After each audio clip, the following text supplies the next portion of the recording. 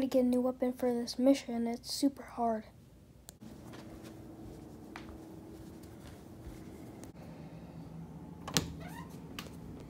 Here's some weapons here. I think you'll um pass the mission if you use these. Let's see what I got. Uh, here. What do I do with a shoe? I don't know.